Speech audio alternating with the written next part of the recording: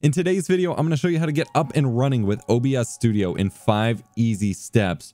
Just in case you don't have time to watch a master course from some nerd like me. I'm EposVox, your stream professor. And obviously the first step you need to do is simply to download OBS, of course.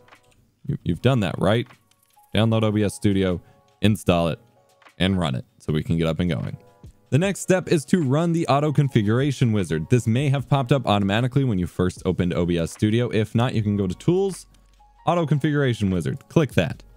Then you can specify whether you're optimizing for streaming or and recording is just kind of secondary or if you're primarily recording and not streaming. In this case, we're going to choose optimize for streaming. Hit next. It's going to determine what resolution or frame rate you want to use. 1920 by 1080s, usually the average. Frame rate 30 or 60, prefer 30 when possible, or 60 or 30 but prefer higher resolution when possible. We're going to say we want a more fluid frame rate because we're doing a game stream, but the prefer high resolution option may be something you want to do if, for example, you're doing a uh, just a webcam stream or a coding stream or an art stream, something where you have a lot of detail you want to show, you may prefer to have higher resolution rather than a higher frame rate. And this is the option available to you for that. But we're going to say 60 or 30, but prefer 60 when possible. Click next Choose which platform you wish to stream to and connect your account. In this case, we are streaming to Twitch. We need to connect our account. You can alternatively use a stream key, but that's an outdated way of doing things. Why would you do it that way? So log into Twitch or Mixer or whatever platform you're using.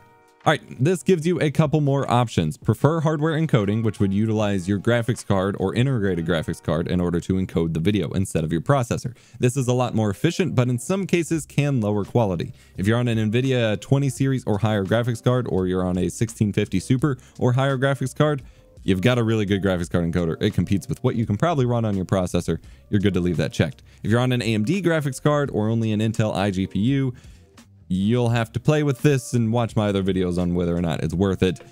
Generally, I'm going to say performance-wise, if performance is your utmost concern, prefer hardware encoding should be checked. If quality is more your concern and you're not on a 20 series or 16 series graphics card, maybe uncheck it, but you'll have to do some tests. And then estimate bit, bit rate with bandwidth test. That will basically run an internet test and see what internet upload speed your computer can support. That's fine. Click next. It's going to run this test using some snow.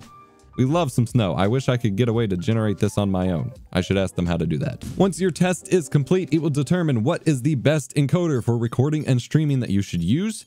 Hardware encoding being an option, that being NVIDIA's NVENC encoder for me on an NVIDIA graphics card. It's almost as if they said that. I said that. I have fiber internet, so it says the max bitrate of 6 megabits per second is fine for me. It chooses the Twitch server based on auto. It may choose a specific one if you have a bunch that kind of throw errors or don't really work properly, but for me, it's just like, okay, you can use whatever. And then it gives you the option of recording quality to balance that out with your streaming. So I have high quality, medium file size. It may lower your quality or what have you.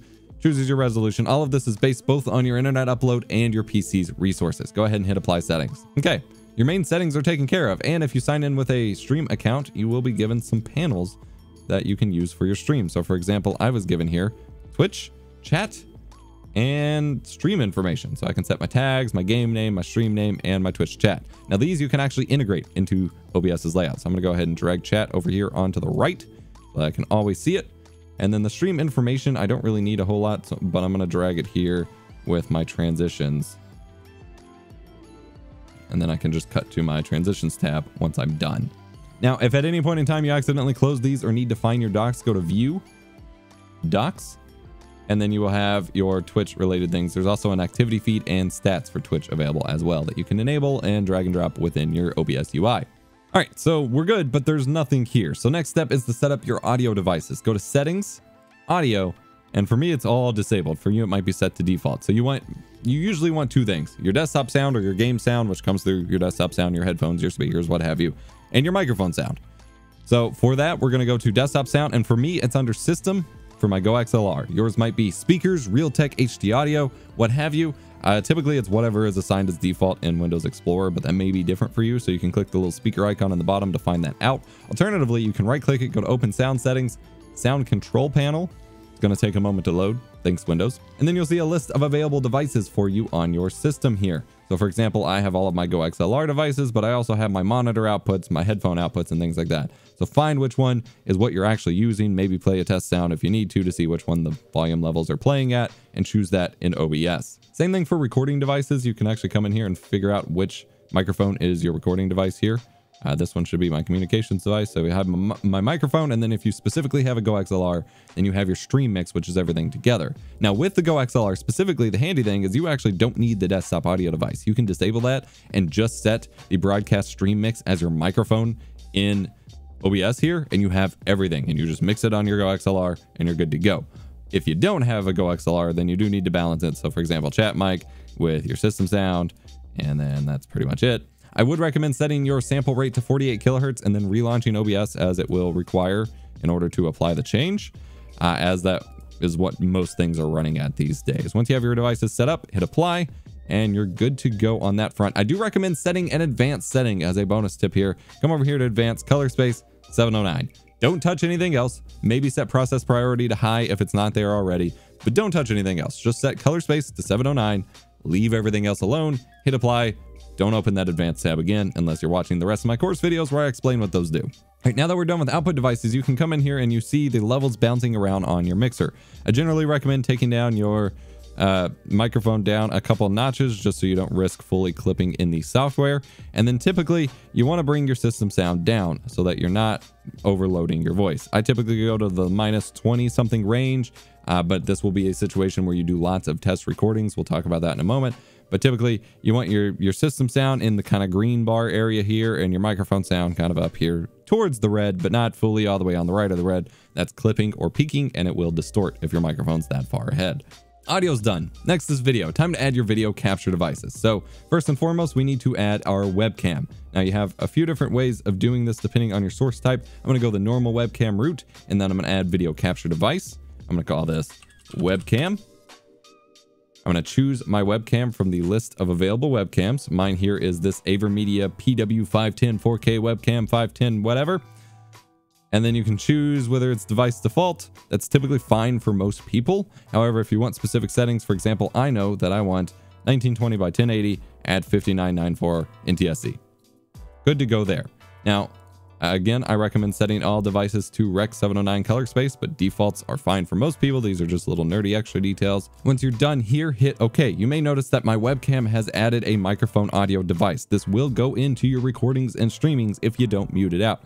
So I typically mute it and drag the audio all the way down, and I will right click it and hit hide so that it's never going to show up ever again. This may depend on your situation, and for mine, the microphone wasn't even working, but depending on your webcam, you don't want an extra layer of really crappy audio overriding your current audio and messing things up.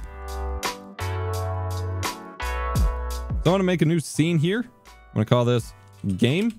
And then you need to add your other video capture source. Is this going to be a screen capture or a game capture? You have a couple different sources for that. Display capture for your entire monitor, window capture for specific non-game windows, and then game capture for specific games. I don't have any games running at the moment while recording this tutorial, so I'm just going to enable a simple display capture. That's fine. And I'm going to choose the monitor I wish to capture, which in this case is going to be this monitor because it's my only blank one. And then if it's too big, right click, transform, fit to screen, and that is going to fit it exactly to your screen canvas. If you do have black bars like I do, that means your monitor is not a normal 16 by 9 widescreen aspect ratio. There's no real getting around it. You can stretch it, it's going to look bad. So you either crop it or you deal and you fill in the frame with other things. There we have two different video captures and you can layer them on top of each other. So I can add video capture device, if you if you're adding the video capture device you've already used once before, then you choose it from the existing list. You don't add it a second time. Click OK. And then we make it real small in the corner and we have a super basic stream layout ready to go. If you're on a laptop or if your game capture or window capture sources are showing a black screen, there are a couple different causes for this and reasons for it. I will have a guide linked in the description below that will help you alleviate some of those issues. Last but not least, you need to perform some test recordings before you go live. Use that record button, test for your volume levels. So get, get into a game, start chatting while you're playing a game as if you were streaming, record for about a minute, and hit stop recording. Test your audio levels in your headphones, mute everything else, just listen to the video. Make sure it all sounds balanced and good and even. Also test your performance. Make sure there's no frame drops. If you don't have your stats up here at the top, go to view, docks, and stats and this will show you rendered frames, dropped frames, and skipped frames. Dropped frames, which typically show up a little bit separately, are due to the network here, right here. That will be due to your internet not keeping up or you having routing issues to your server or something like that.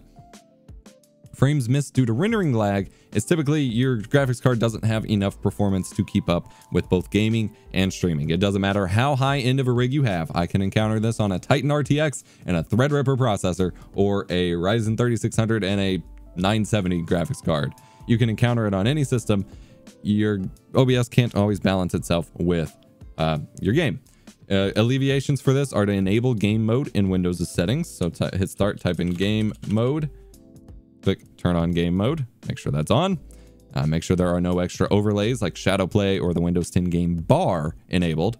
And then secondly is to run OBS as admin. And you can actually tell it to always run as admin by finding your shortcut in your taskbar here, dragging up, right click, properties, compatibility, and run this program as admin. And then you'll need to approve the UAC prompt every time you run it. But that includes a new GPU priority fix that was introduced last year, which will allow OBS to compete a little bit better for your resources and have an easier time. So do some test recordings, make sure performance is great, make sure quality's looking okay, make sure you sound good, then you're ready to stream.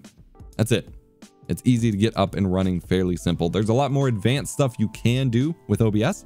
I have countless videos at this point on the subject on my channel. Links to a couple playlists will be in the description below. Special hint, just go to my channel page and search for specific topics you're looking for. It will probably tell you what you need to know for in terms of finding my videos.